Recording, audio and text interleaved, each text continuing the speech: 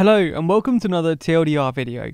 With countries around the world beginning to ease their lockdown measures, discussion over the potential for a second peak has slowly begun to creep up. Over on our UK channel, we've put out a video on exactly that how a second peak could arise, why people are concerned, and what it could mean.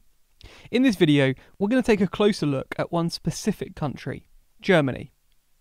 As I just mentioned, there's a brand new video on the TLDR UK channel which goes into more detail about the idea of a second wave, how countries are coping, and what the UK is trying to do to prevent a second wave of COVID cases. If you want to check out that video, then it's linked down below. Also, be sure to subscribe to this channel and TLDR UK for all of the latest updates. Throughout this crisis, we've constantly referred to Germany as the gold standard. Countries around the globe have used Germany as an example to follow, with news outlets from across the political spectrum praising its response. From The Telegraph saying how Germany got it right while the UK got it wrong, through to the BBC on what the UK can learn from Germany on testing, and The Guardian stating that Germany is a model for others to emulate. Even Professor Chris Whitty, the government's chief medical advisor, in one of the daily press conferences, acknowledged Germany's strong policy of testing, stating, We all know Germany got ahead in terms of its ability to do testing for the virus, and there's a lot to learn from that.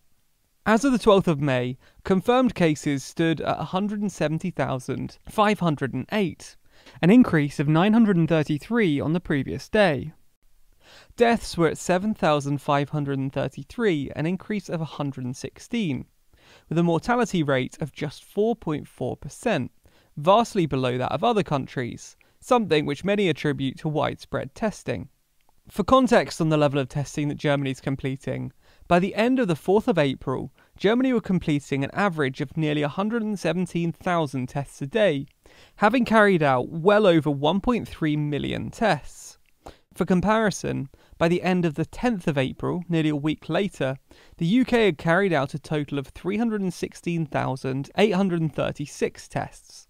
By testing a vast amount of people, Germany was able to identify, trace, and isolate those with the virus, or those who've come into contact with it, and treat more acute cases quickly. Germany's expenditure on healthcare is, according to Eurostat, the joint highest in the European Union, matching France with 11.3% of GDP, compared to an EU average of 9.9%.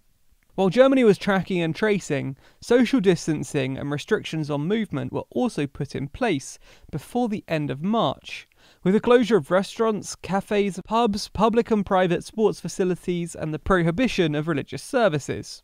Because of all of this early action, Germany decided it was able to stop short of a full stay at home order, never implementing the lockdown regulations that became commonplace in many other countries. And more recently, Germany has begun to lift the restrictions, allowing the reopening of some shops, schools, zoos, and churches. And they were able to do that because of a fall in the R naught number, from a peak of 1.3 in early April to a low of 0.7. Germany has had a fascination with the R 0 number for a while now, and that's the reproduction rate of the virus, the number of people that on average each infected person will go on to infect. Chancellor Angela Merkel highlighted its importance at the end of April, saying, If we get to a point where each person is infecting 1.1 people, then by October we will be back at the limits of our healthcare system in terms of intensive care beds. If we get to 1.2, then we'll hit the full capacity of our healthcare system as early as July. And if it's 1.3, we'll hit the full capacity of our healthcare system in June. So you can see how little room for manoeuvre we have. And that's why, when Germany saw a rise in the R rate following slight relaxation of the coronavirus rules, some began to query whether a second peak might be on its way. At the time of writing, the Robert Koch Institute, the German government's disease control and prevention agency, estimates the R number ranging from 0.79 to 1.1, with the most likely estimate being 0.94, quite close to the boundary of disease picking up again. And if it is closer to the upper bounds of that estimate, then, according to Merkel's comments, by October, Germany would hit the limits of their health system.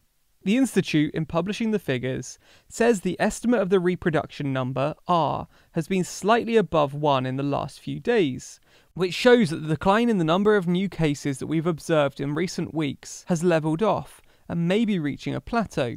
So far, we do not expect to see an increasing trend again. The slowdown in the decline of new cases is also related to local outbreaks, for example, in the vicinity of slaughterhouses. Moreover, since case numbers in Germany are slowly depreciating overall, these outbreaks have a greater impact on the value of the reproduction number, R, than if the total number of cases were higher. Overall, therefore, the development of the number of new cases must be observed in the next few days, in order to rule out a merely temporary slowdown in the decline. The vice president of the Robert Koch Institute stressed in a press conference that the number will always fluctuate, and as long as it remains around 1, that is considered a stagnation and not an increase, stressing again that when there are fewer new cases, individual outbreaks have a stronger influence on the reproduction number. But is it really that simple? Well, the reproduction number can't be used in isolation. In a paper published in the Emerging Infectious Diseases Journal of the Centers for Disease Control and Prevention, the issue of focusing solely on the reproduction rate is highlighted. R naught can be misrepresented, misinterpreted, and misapplied in a variety of ways that distort the metric's true meaning and value. Because of these various sources of confusion, R naught must be applied and discussed with caution in research and practice. So, is Germany really about to experience a second peak in the very near future? Well, none of us here at TLDR are epidemiologists, but looking at the evidence historically, it doesn't appear to be a pressing issue at the moment. Despite an uptick in the reproduction rate, the spread remains relatively controlled. Looking at data from the Johns Hopkins Coronavirus Research Center, Germany has been on a prolonged downward trend after spiking towards the end of March, with daily new cases around 7,000, before zigzagging downwards and settling around 1,000 new cases a day. Of course, there is a lag on data like this, but there doesn't appear to be a rebound in cases just yet. It's also clear that Germany remains confident in keeping the pandemic under control. On the 13th of May, it announced the relaxation of border restrictions from Saturday, moving from systematic to random checks at border crossings with France, Switzerland, and Austria, remaining until at least the 15th of June, at which point free travel will be returned in full, with the German Interior Minister saying, the clear objective is that we want free travel in Europe again, as of mid June. That presupposes that the infection situation will continue to be as favourable as we're experiencing these days. If public discipline continues to be maintained in the population, with hygiene, face masks, and distancing regulations, despite the easing of restrictions in all European countries, then we can imagine that we will have free travel again on June 15th. But I ask you to take this condition into account.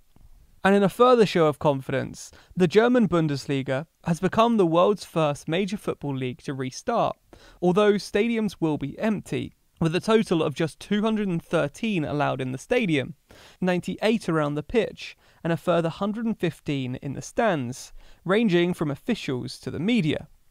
So, what do you think? Is Germany right to be lifting the lockdown now, or is it far too soon?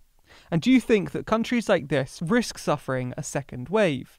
Let us know your thoughts in the comments below. And as always, you can also get involved in the conversation over on Discord. There's a link to the server down below, and by joining, you can take part in discussions on topics ranging from US politics and the 2020 election to gaming and philosophy. Join the approaching 2,000 people on the Discord today by discussing a variety of topics from a variety of different perspectives. You can also discuss our videos, and if you're a patron, you can access a super exclusive bonus channel where you can talk to Team TLDR as well as other patrons. Check out the Discord today by clicking the link in the description. Of course, we'll continue to keep you updated on the European Union and all of the news that comes out of it. So be sure to subscribe to the channel and hit the bell icon to be notified every time we release a video. Special thanks to our Patreon backers who make videos like this one possible.